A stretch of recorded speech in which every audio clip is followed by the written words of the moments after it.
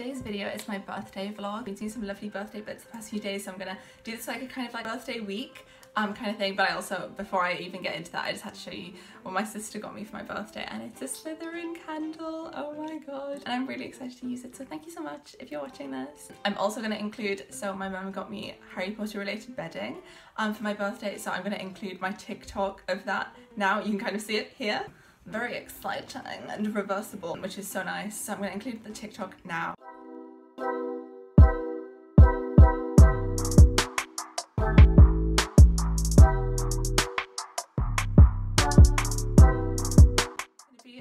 Birthday week vlog so make sure to give this video a thumbs up if this is the kind of content that you like and subscribe if you're new here and without further ado let's get on with the birthday vlog Okay, so I'm about to make my birthday cake. Hopefully the thumbnail depicts a nice, edible, aesthetically pleasing looking cake. Um, I'm going to do a cake that looks like the one that Hagrid makes for Harry in Philosopher's Stone. So hopefully this is going to turn into that. I'm going to make it a chocolate coffee cake and then I'll do all the butter icing stuff tomorrow. So let's cue the aesthetically pleasing musical montage now.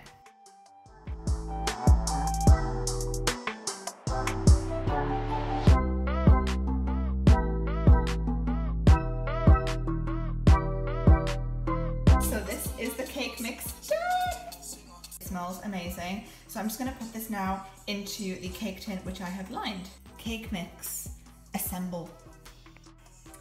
Assembled. I haven't checked how long I need to put this in for, but I will check that now and I'll put all the details down below and also on the screen here. So this will go in the oven and then tomorrow I think I will be doing the buttercream exciting pink and green stuff. Very exciting. So a little interval with the cake making. I made some birthday pancakes. I I mean, this speaks for itself, really. Like a little flowery circle. yes, it was deliberate. And really cute. Pancake Thank you. I think